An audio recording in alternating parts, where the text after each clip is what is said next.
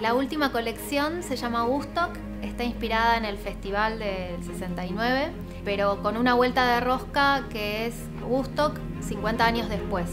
Existe una metáfora entre la piel y la arquitectura que es un lugar de inspiración constante. Nuestra colección Resuma Seco es nuestra primera colección de verano. Tratamos sobre nuestro pasado en la niñez.